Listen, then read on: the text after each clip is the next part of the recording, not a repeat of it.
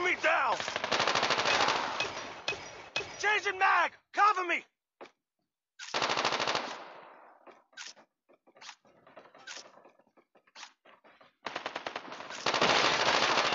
Down! Hello you what's faces, welcome back to a new video, Tigon here, and today I have the best class setup for the Type 25 in Call of Duty Mobile.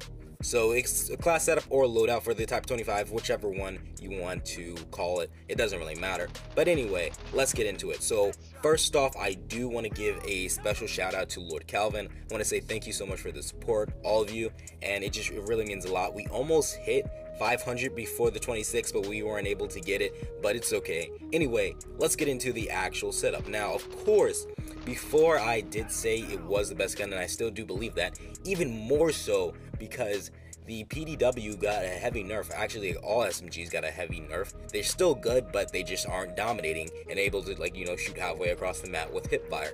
And I do feel like that type of nerf, nerf was kind of needed, but some people are kind of mad about it. But regardless, let's get into it. So, as you can see on screen, we have the Type 25 carrying one, a red dot sight, two, an FMJ, quick draw, and of course, as you guys can see, a laser sight. So the laser sight does help with hip firing, especially in close quarters combat, which the Type 25 is pretty good at for a assault rifle because of its insanely fast fire rate. The quick draw really does give you a great advantage when you're trying to take out enemies fast. It helps you get your gun up faster after, you know, mantling and running and just in general. I also do recommend, you know, walking around corners so you can have that advantage and also pre-aiming. Next, we have the FMJ, which I do feel is really needed.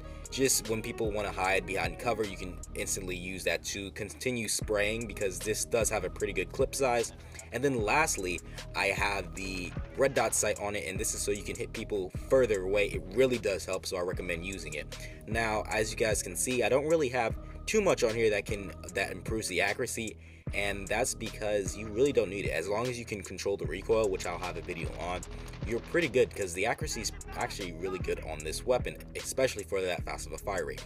Now for a secondary I have the MW11 because the gun is so strong if you do end up having to switch to your secondary you need something that's you know really fast firing because main objective in that situation is to get the kill. The type 25 already does a lot of damage so if you need to switch to your secondary you'll just basically be finishing them off and you don't need to really worry about missing shots so that's why I do recommend having MW11 now for attachments for the pistol, we have FMJ on the pistol, and this I always recommend having FMJ because people always like to, as I said, hide behind stuff, and that is a great idea to do. If someone's shooting you, best thing to do is hide behind cover.